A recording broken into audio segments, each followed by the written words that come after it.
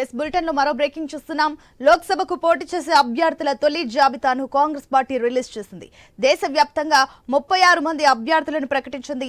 ఇందులో తెలంగాణకు చెందిన నాలుగు సీట్లున్నాయి. జహీరాబాద్కు సురేష్ షెట్కర్ చేవెళ్ళకు సునీత మహేందర్ రెడ్డి నల్గొండకు కుందూరు రఘువీర్ రెడ్డి మహబూబాబాద్కు బలరాం నాయక్ పేర్లను ప్రకటించారు.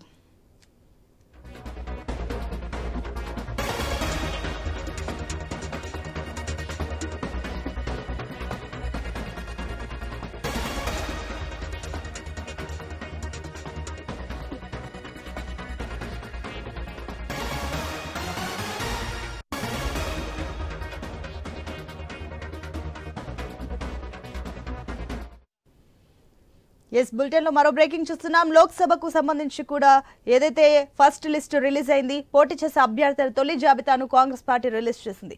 దేశవ్యాప్తంగా ముప్పై ఆరు మంది అభ్యర్థులను ప్రకటించింది. ఇందులో తెలంగాణకు చెందిన నాలుగు సీట్లున్నాయి. జహీరాబాద్కు సురేష్ షెట్కర్ చేవెళ్ళకు సునీత మహేందర్ రెడ్డి నల్గొండకు కుందూరు రఘువీర్ రెడ్డి మహబూబాద్కు బలరాం నాయక్ పేర్లను ప్రకటించారు.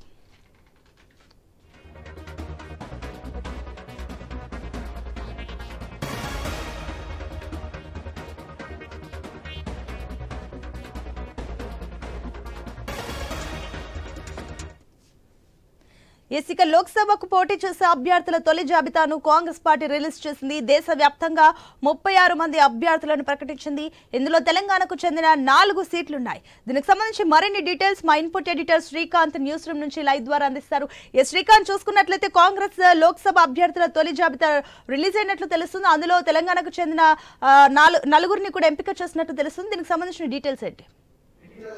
సునీత గుడ్ ఈవినింగ్ సో మొత్తానికి ముఖ్యమంత్రి రేవంత్ రెడ్డి నిన్న ఢిల్లీకి వెళ్ళిన తర్వాత ఢిల్లీలో ఏఐసిసి కార్యవర్గ సమావేశం అంటే జరగడం జరిగింది. దాంట్లో మరి ముఖ్యంగా తెలంగాణ నుంచి ఎంపీ స్థానాలకు సంబంధించి ఒక చర్చ చాలా సీరియస్ చర్చ మాత్రం జరిగింది.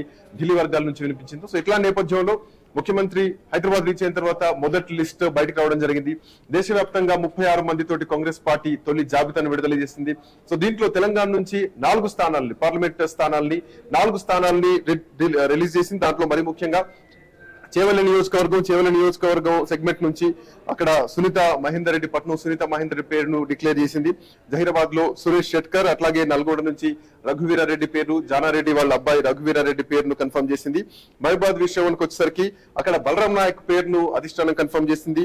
సో ఇట్లా నేపథ్యంలో అంటే ఇక్కడ కొన్ని విషయాలు మాట్లాడుకుంటే కనుక మధ్యలో మనం తెలుసు బీఆర్ఎస్ పార్టీ నుంచి పట్నం మహేందర్ రెడ్డి కాంగ్రెస్ పార్టీకి చేరిన విషయం తెలిసిందే. ఇద్దరు భార్యాభర్తలు సైతం కాంగ్రెస్ పార్టీ గూటికి చేరారు. సో ఆ టికెట్ ఈసారి ఎంపీ టికెట్ కన్ఫర్మ్ అన్నటువంటి కమిట్మెంట్ తోటి వాళ్ళు పార్టీలో చేరడం జరిగింది.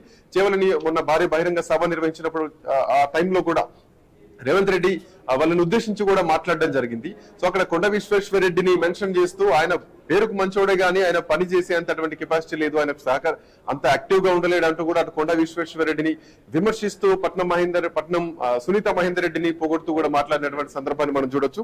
ఇక మరోవైపు జైరాబాద్లో సురేష్ షెట్కర్ పేరును అంటే అక్కడ ఇప్పటికే భారతీయ జనతా పార్టీ కూడా స్థానాన్ని డిక్లేర్ చేయడం జరిగింది. బీబీ పార్టీలో ఆయన ఈ మధ్య కాలంలోనే సిట్టింగ్ స్థానమైనటువంటి బీఆర్ఎస్ పార్టీ నుంచి ఆయన భారతీయ జనతా పార్టీలోకి వెళ్ళడం వెంటనే ఆయన పేరు కూడా భారతీయ జనతా పార్టీ ఫస్ట్ లిస్ట్లో రిలీజ్ చేయడం జరిగింది. ఆ తర్వాత నల్గొండ విషయానికి వస్తే కనుక ఇక్కడ కొంచెం నిజానికి ఒక సందిగ్ధం మాత్రం ఉండేది. అక్కడ జానారెడ్డి చాలా రోజుల నుంచి అంటే జానారెడ్డి వాళ్ళ అబ్బాయి రఘువీరారెడ్డి పోటీలో ఉన్నారంటూ వార్తలు వస్తున్నా గానీ పటేల్ రమేష్ రెడ్డికి టికెట్ వస్తుందంటూ కూడా అక్కడ నాయకత్వం గానీ క్యాడర్ గానీ భావించింది. బట్ పటేల్ రమేష్ రెడ్డి గతంలో ఆయనకు అసెంబ్లీ టికెట్ కూడా రాలేదు. అసెంబ్లీ టికెట్ రాకపోయేసరికి ఆయన కొంత నిరాశతో ఉన్నారు. సో ఆ నిరాశ తర్వాత ఈసారి ఎంపీ స్థానం ఇస్తాం అన్నటువంటి ఒక ఊహాగానాలు at the same time party నుంచి కమిట్మెంట్ వచ్చినట్టుగా కూడా అంతర్గతంగా కొన్ని విషయాలు బయటకు వచ్చా గానీ ఈసారి ఎంపీ స్థానం పటేల్ రమేష్ రెడ్డికి వస్తుందనే ఆశాభావాన్ని వ్యక్తం చేసినా గానీ సో కొంతవరకు పటేల్ రమేష్ రెడ్డి మాత్రం నిరాశతో ఉన్నది స్పష్టంగా కనిపిస్తోంది. సో నెక్స్ట్ ఎట్లాంటి స్టెప్ ఉండబోతోంది? అక్కడ నల్గొండలో ఉన్నది మాత్రం ప్రధానంగా. ఎందుకంటే పార్టీని పట్టుకొని పార్టీ క్యాడర్ని కాపాడుకుంటూ పార్టీని కాపాడుకుంటూ పార్టీలో యాక్టివ్గా ఉన్న వాళ్ళకు టికెట్ ఇవ్వకుండా కేవలం వారసత్వానికి టికెట్ ఇస్తున్నారన్నటువంటి ఆరోపణలు కూడా నల్లగొండ జిల్లా నుంచి వినిపిస్తున్నటువంటి క్రమం. సో ఇక ఆ అంశం అట్లా ఉంటే గనక మైబాద్ విషయానికి వస్తే గనక ఉమ్మడి వరంగల్ జిల్లా మైబాద్లో అక్కడ బలరాం నాయక్ పేరును ఈ- ఫస్ట్ లిస్ట్లో రిలీజ్ చేయడం జరిగింది. సో దాంట్లో అంటే స్థానికంగా బలరాం నాయక్ కొంత వ్యతిరేకత ఉన్న కానీ ఈ మధ్య కాలంలో మనం చూడొచ్చు వాళ్ళ అబ్బాయి కూడా భారతీయ జనతా పార్టీలో అసెంబ్లీ ఎన్నికల సమయంలో పార్టీ టర్న్ తీసుకున్న విషయం కూడా మనకు తెలుసు. But sir. ఎస్ సునీత అంటే ఇందాక మనం మాట్లాడుకున్నట్టు నల్గొండ విషయానికి వస్తే గనక అక్కడ పటేల్ రమేష్ రెడ్డి చాలా ఎదురు చూశారు. ఆయనకి ఈసారి టికెట్ వస్తుందన్నటువంటి ఒక ఆశాభావం వ్యక్తం చేశారు. బట్ చివరి నిమిషం వరకు కూడా మొదటి లిస్ట్లోనే పటేల్ రమేష్ రెడ్డి పేరు లేకపోవడం అక్కడ రఘువీరారెడ్డి పేరు రావడం జానారెడ్డి వాళ్ళ అబ్బాయి రఘువీరారెడ్డి పేరు రావడం నిజానికి అంటే నల్గొండలో పరిస్థితులు ఎట్లా ఉండబోతాయి అన్నది కూడా ప్రధానంగా ఒక క్వశ్చన్ మార్క్ మాత్రం కనిపిస్తోంది రాజకీయాల్లో. ఇక ఈ అంశం ఇట్లా ఉంటే గనక ఇందాక మనం మాట్లాడుకుంటున్నట్టు మైబాద్ విషయానికి వస్తే గనక అక్కడ బలరాం నాయక్ ఉన్నారు. బలరాం నాయక్ గతంలో కేంద్ర మంత్రిగా పనిచేసినటువంటి వ్యక్తి బట్ ఈ మధ్య కాలంలో కొంతవరకు ఆయనకు స్థానికంగా వ్యతిరేకత వచ్చింది. స్థానికంగా ప్రజల్లో కొంతవరకు వ్యతిరేకత మూటగట్టుకున్నారు అన్నటువంటి ఆరోపణలు కూడా వినిపించాయి. బట్ బలరాం నాయక్ జాతీయ స్థాయిలో ఆయనకు కొంత పేరు ప్రతిష్టలు ఉన్నాయి కాబట్టి సో ఢిల్లీ వర్గాల నుంచి ఆయన టికెట్ కోసం పైరవులు చేశారు అన్నటువంటి ఆరోపణలు కూడా వినిపించాయి. సో ఇట్లా నేపథ్యంలో బలరాం నాయక్ పేరును అధిష్టానం ఫస్ట్ లిస్ట్లో డిక్లేర్ చేయడం జరిగింది. ఇక కమింగ్ టు ఇంకో కీలకమైనటువంటి నియోజకవర్గం ముఖ్యమంత్రి సొంత జిల్లా మహబూబ్ నగర్ జిల్లా. సో దాంట్లో మహబూబ్ నగర్ ఎంపీ క్యాండిడేట్గా వంశీచంద్ర రెడ్డిని ముఖ్యమంత్రి ఒక భారీ బహిరంగ సభలో డిక్లేర్ చేయడం కూడా జరిగింది. బట్ అట్లాంటి స్థానాన్ని ఈసారి ఫస్ట్ లిస్ట్లో ఇస్తారేమో అన్నటువంటి ఒక హోప్ మాత్రం ఉండేది. సో అది కాస్త పెండింగ్లో పడింది. ఎందుకు మహబూబ్ నగర్ స్థానాన్ని హోల్డ్ పెట్టడానికి గల కారణాలు ఏంటి? అన్నది మాత్రం ప్రధానంగా చూడాలి. ఎందుకంటే అక్కడ చాలా తీవ్రమైనటువంటి పోటీ ఉంటా ఉంటుంది. ముఖ్యమంత్రి సొంత సొంత జిల్లా at same time Bharatiya Janata Party నుంచి కూడా డికే అరుణ చాలా కీలకంగా ఉన్నటువంటి వ్యక్తి. గెలుపు అవకాశాలు ఈసారి నాకే అంటూ కూడా ఆమె భావిస్తూ ఉన్నటువంటి వ్యక్తి. సో ఇట్లా నేపథ్యంలో కాంగ్రెస్ పార్టీ వర్సెస్ భారతీయ జనతా పార్టీగా మారబోతున్నటువంటి క్రమంలో ఆపడానికి గల కారణం ఏంటి?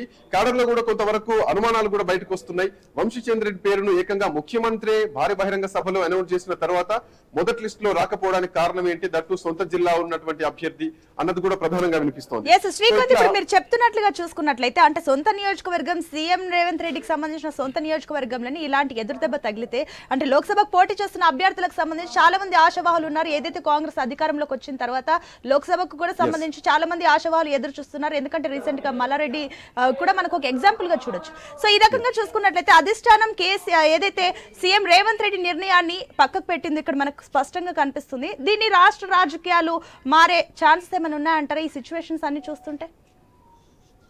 ఎస్ అంటే ఇక్కడ ఒకటి మనం ఆలోచించాల్సింది ఏంటంటే సునీత అక్కడ అంటే నిన్నటి వరకు జరిగినటువంటి డిస్కషన్ అక్కడ ఢిల్లీ వర్గాల నుంచి మనకున్నటువంటి ఒక కొంత సమాచారం ఏంటంటే ఓవరాల్గా ఒక దరిదాపు ఒక తొమ్మిది నుంచి పది మంది అభ్యర్థుల పేర్లను కన్ఫర్మ్ చేయడం జరిగింది. దాంట్లో అందరూ అంటే ఆల్మోస్ట్ పదకొండు స్థానాలకు అంటే రిజర్వేషన్ స్థానాలు బోను మిగిలిన పదకొండు స్థానాలు ఏది అంటే ఇటు హైదరాబాద్ పోను మిగిలిన పదకొండు స్థానాలు ఏవైతే ఉన్నాయో వీటిల్లో ఎనిమిది మంది వరకు రెడ్లను మాత్రమే అంటే అప్రూవల్ అంటే ప్రపోజల్ తీసుకుపోయారు ముఖ్యమంత్రి. సో దీనికి సంబంధించి కొంతవరకు అడ్డుకట్ట వేయాలి. మరియు అంటే సామాజిక వర్గాల వారీగా కూడా అవకాశం కల్పించాలి. లేదంటే రెడ్ల పార్టీ అన్నటువంటి ఒక ఊహాగానాలు బయటకు వెళ్ళే అవకాశాలు at the same time Bharatiya Janata Party కూడా ఈ అంశాన్ని కీలకంగా పట్టుకునే అవకాశాలు స్పష్టంగా ఉంటాయి. ఎందుకంటే భారతీయ జనతా పార్టీ ఇప్పటికే బీసీలకు అత్యధికంగా స్థానాలు కల్పించింది. ఫస్ట్ లిస్ట్లోనే ఐదుగురు బీసీలకు ఇవ్వడం అట్ ది సేమ్ టైం మహిళలకు కూడా అంటే ఇప్పటికే మనకు హైదరాబాద్ నుంచి మాధవిలత పేరు. At the same time next Bharatiya Janata Party next list ఏదైతే ఉందో దాంట్లో డీకేఆర్ నా పేరు కూడా వస్తుంది అన్నటువంటి స్పష్టమైన సమాచారం వినిపిస్తున్నటువంటి క్రమంలో మహిళలకు పెద్దపీట వేసాం అట్ ది సేమ్ టైం సామాజిక వర్గాలకు బీసీ సామాజిక వర్గాలకి పెద్దపీట వేసామంటూ కూడా భారతీయ జనతా పార్టీ చెప్పే ఛాన్సెస్ ఖచ్చితంగా ఉంటాయి. సో ఇవన్నీ సామాజిక వర్గాలని బేరీజ్ వేసుకున్న తర్వాతనే కాంగ్రెస్ పార్టీ ముఖ్యమంత్రి రేవంత్ రెడ్డి పెట్టినటువంటి ప్రపోజల్ని కాకుండా అన్ని వర్గాల్ని ఆలోచించి ఒక లిస్ట్ ఫస్ట్ రిలీజ్ చేయాలనే ఉద్దేశంతో ఫస్ట్ లిస్ట్ రిలీజ్ చేసినట్టుగా తెలుస్తుంది. ఇందాక ఇప్పుడు శ్రీకాంత్ ఇప్పుడు మహబూబ్ నగర్కి స్థానానికి సంబంధించి ఇక వంశీచంద్ రెడ్డికి అంటే సీట్ ఫైనల్ అయినట్టేనా? ఇప్పుడు ఈ ఫస్ట్ లిస్ట్ కాకపోయినా వచ్చే లిస్టులలో కూడా ఇతని పేరు వచ్చే ఛాన్సెస్ ఉన్నాయంటారు. ఎందుకంటే సీఎం రేవంత్ రెడ్డి ప్రకటించారు కాబట్టి వచ్చే ఛాన్సెస్ ఉన్నాయా లేదా? ఇక్కడ బహిరంగంగా ఒక భారీ బహిరంగ సభలోనే ముఖ్యమంత్రి రేవంత్ రెడ్డి వంశీచంద్ర రెడ్డిని ఆశీర్వదించండి అంటూ చెప్పడం జరిగింది. సో ఖచ్చితంగా అభ్యర్థి వంశీచంద్ర రెడ్డి ఆయన గ్రౌండ్లోకి వెళ్ళడం పనులు చేసుకోవడం అన్ని కూడా స్టార్ట్ అయిపోయాయి. బట్ ఫస్ట్ లిస్ట్లో పేరు రాకపోవడం ఇది రాజకీయ వర్గాల్లో వినిపిస్తా ఉంటుంది. అంటే మనం చూస్తున్నాం రేవంత్ రెడ్డి ముఖ్యమంత్రిగా బాధ్యతలు చేపట్టినప్పటి నుంచి పార్టీలో ఎట్లాంటి లుకలుకలు రాలేదు. బట్ ఇక్కడ రేవంత్ రెడ్డి వర్గం ఒకటి కోమటిరెడ్డి వర్గం ఒకటి పొంగులేటి వర్గం ఒకటి అన్నది కొన్ని రాజకీయ వర్గాల నుంచి వినిపిస్తోంది. అటు దీనికి తోడు ఇప్పటికే అటు భారతీయ జనతా పార్టీ నుంచి ఒక షిండే పుట్టుకొస్తారంటూ మాట్లాడుతున్నారు. అటు కేటీఆర్ ఏకంగా నేరుగా ఒక షిండే రేవంత్ రెడ్డి అవుతారంటూ మాట్లాడుతున్నటువంటి క్రమంలో. సో పార్టీలో కాంగ్రెస్ పార్టీలో ఏమైనా అంతర్గతంగా నడుస్తుందా? సో ఆపడానికి ఏమైనా కారణాలు అనేది అంతర్గతంగా విషయం. బట్ ఏదేమైనా కానీ నెక్స్ట్ లిస్ట్ ఏమైనా వస్తుందా అనేది మాత్రం చూడాల్సినటువంటి అవసరం ఉంది. సామాజిక వర్గాల పరంగా ఎట్లాంటి ఛాన్సెస్ కాంగ్రెస్ పార్టీ తీసుకోబోతుందని చూడాలి. ఇందాక మనం మాట్లాడుకున్నట్టు ఐదో స్థానం హోల్డ్లో ఉంది బట్ ఆ స్థానం నుంచి ఎవరి పేరు వస్తుందన్నది మాత్రం చూడాలి. అట్ ది సేమ్ టైం ఇంకా అటు పెద్దపల్లి నియోజకవర్గం చూసుకోన్నా గానీ మెదక్ చూసుకున్నా గానీ వరంగల్ నియోజకవర్గం చూసుకున్నా గానీ సికింద్రాబాద్ హైదరాబాద్ అట్లాగే ఖమ్మం నియోజకవర్గం అయినా గానీ నాగర్ కర్నూలు గానీ ఇట్లా ఈ నియోజకవర్గాలు కూడా ఉన్నాయి. ఇంకా నిజామాబాద్ కరీంనగర్ ఆదిలాబాద్ ఇవన్నీ కూడా భారతీయ జనతా పార్టీ ఎక్కువ వింగ్ ఉండేటువంటి నియోజకవర్గాలు. సో వీటిల్లో కూడా కాంగ్రెస్ పార్టీ ఢీ కొట్టాల్సినటువంటి అవసరం ఉంది. ప్రస్తుతానికి రాష్ట్రంలో అధికారంలో ఉంది కాబట్టి. సో దీంట్లో కూడా ఆశావాహుల సంఖ్య కూడా ఉంది. మనం పెద్దపల్లి చూసుకుంటే కనుక అక్కడ గడ్డ వంశీకృష్ణ ఉన్నారు. అట్ సేమ్ టైం అక్కడ బీఆర్ఎస్ పార్టీ నుంచి సిట్టింగ్ నాయకులు ఉన్నారు. ఆయన ఈసారి కాంగ్రెస్ పార్టీలో వెళ్ళిపోవడం జరిగింది. సో నెక్స్ట్ లిస్ట్లో మరి కాంగ్రెస్ పార్టీలో అటు సిట్టింగ్ ఎంపీగా ఉన్నటువంటి వెంకటేష్ నేతకు టికెట్ ఇస్తారా? లేదంటే అక్కడ వంశకృష్ణ టికెట్ ఇస్తారా? అన్నది మాత్రం ప్రధానంగా ఒక చర్చ బలంగా ఉంది. ఎట్లా దీన్ని ఎట్లా సెటిల్ చేయబోతోంది కాంగ్రెస్ పార్టీ అన్నది ప్రధానంగా ఒక అంశం. ఇక మైబాద్ ఆల్రెడీ డిక్లేర్ అయిన విషయం మనకు తెలిసిందే. మెదక్ నియోజకవర్గం కూడా చాలా కీలకమైనటువంటి నియోజకవర్గం. ఈ నియోజకవర్గంలో అంటే గతంలో అటు మనం చూడొచ్చు పటాన్చేరు నుంచి నీలమధు టికెట్ ఆశించడం జరిగింది. ఆ తర్వాత నీలమధు పార్టీలు మారడం జరిగింది. ఆ నుంచి కాంగ్రెస్ పార్టీ టికెట్ ఇయ్యనట్టు అంటే ఆల్రెడీ ఒకసారి ఇచ్చి డిక్లేర్ చేసిన తర్వాత మళ్ళీ దాన్ని విత్డ్రా చేసుకోవడం ఆ తర్వాత నీలమధు బిఎస్పీకి బీఎస్పీకి వెళ్ళడం మళ్ళీ ఆ నుంచి ఇప్పుడు కాంగ్రెస్ పార్టీ గూటికి వెళ్ళినటువంటి క్రమం. సో ఇట్లా నేపథ్యంలో ఈసారి ఆయనకి ఏమైనా టికెట్ ఇస్తారా? లేదంటే అక్కడ నుంచి మనం చూడొచ్చు మెదక్ నుంచి సంగారెడ్డి కూడా సీనియర్ నాయకులు మాజీ శాసనసభ్యులు మొన్నటిసారి ఆయన ఓటమి చెందినటువంటి వ్యక్తి. ఈసారి ఆయన కూడా టికెట్ ఎక్స్పెక్ట్ చేస్తున్నటువంటి రేస్లో ఉన్నారు at the same time Jaggareddy ఆయనతో పాటు మైనంపల్లి కూడా టికెట్ రేస్లో ఉన్నట్టుగా తెలుస్తోంది. సో ఎవరికి ఇవ్వబోతున్నారు అన్నది మాత్రం చూడాల్సినటువంటి అవసరం ఉంది. ఇక వరంగల్ విషయానికి వస్తే గనక ఇప్పటికే అంటే అద్దంకి పేరు గతం నుంచి వినిపించినా గానీ అద్దంకిని తీసుకుని రిస్క్ తీసుకుంటున్న కాంగ్రెస్ పార్టీ? లేదంటే అక్కడ దుమాటి సాంబయ్య పేరు వినిపించింది. ఒకవేళ ఆయన ఆయనకి ఏమైనా టికెట్ ఇచ్చారా ఇస్తారా? అన్నటువంటి కొంత సందిగ్ధం మాత్రం కనిపిస్తోంది. కమింగ్ టు సికింద్రాబాద్ విషయానికి వస్తే సికింద్రాబాద్ కూడా ఇంకా పెండింగ్లోనే ఉంది. సో అక్కడ బొంతు రామ్మోహన్ గతంలో మాజీ మేయర్ హైదరాబాద్ మేయర్గా పనిచేసినటువంటి వ్యక్తి బీఆర్ఎస్ పార్టీలో కీలక నాయకులు. ఆయన బీఆర్ఎస్ వదిలి కాంగ్రెస్ పార్టీ గుడికి రావడం ముఖ్యమంత్రి రేవంత్ రెడ్డి ఆధ్వర్యంలో కాంగ్రెస్ పార్టీలో చేరినటువంటి క్రమంలో ఈసారి సికింద్రాబాద్ సీటు ఆయనకైనటువంటి ధీమాలో ఆయన ఉన్నారు.